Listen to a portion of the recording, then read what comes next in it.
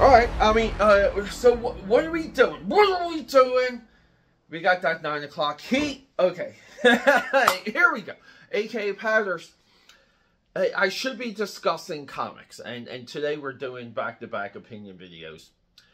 I wanted, we gotta get back to doing comics on this channel, but Todd McFarlane, McFarlane Toys dropped a response to the social media pounding of this Joker box set that looks like D-I-C-K-S-H-I-T.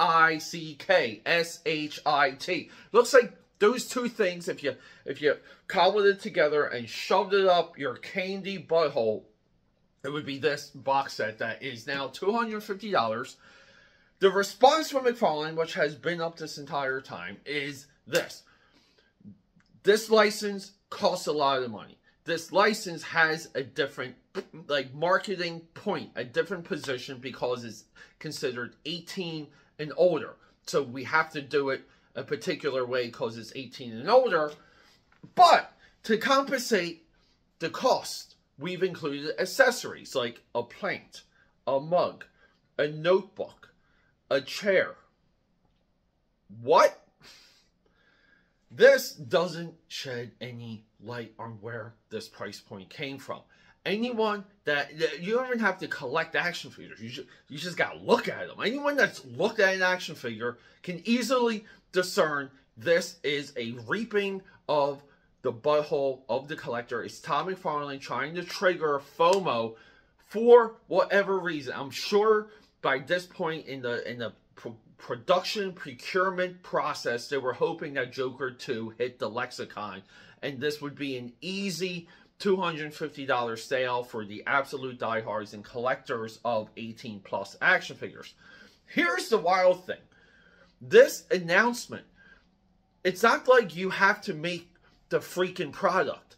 If the product, if the numbers don't work out, you don't have to make the product.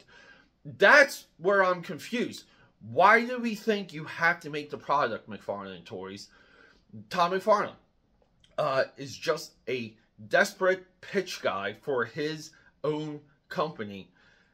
It's so sad because he can't even address this. That's the sad thing. And Tom McFarlane, he he does like you know he does a lot of podcasts, does a lot of interviews, does a lot of this.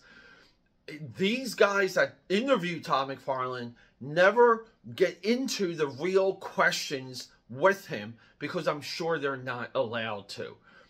Keep in mind, AKA Patters, because a lot, a lot of you out there, you guys asked me to do something so I can interview and talk to people.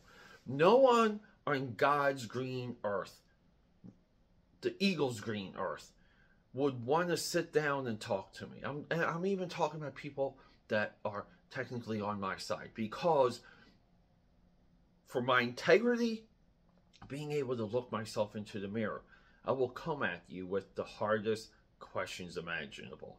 I will go through your life, go through your career, and I will develop real questions. Could you imagine if I spoke with Todd McFarlane? The guy would never recover. And because of that, the AKA Pad Army gets stronger because we're here for that voice. We're here for that pushback. We're not cheerleaders. I even, it's hard for me to even want to go on other people's live streams because I don't want to cheerlead. Mm. Anyway, guys, I love you, rock and roll. What do you think? Are we done with this $250 Joker box set nonsense? Mm.